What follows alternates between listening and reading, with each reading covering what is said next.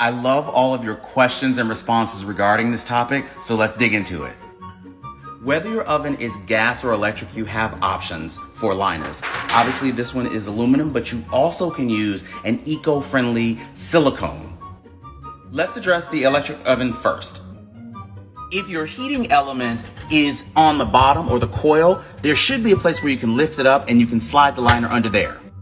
But be sure that you don't have the vents, those slots that are there. You do not want to cover those. If so, you want to cut out the place so that the air can circulate.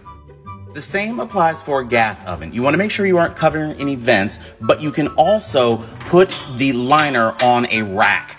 It's actually suggested so that you do not burn the bottom of the oven. Again, check the specifications of the oven ahead of time. I hope these tips help. Got more kitchen questions? Leave them in the comments.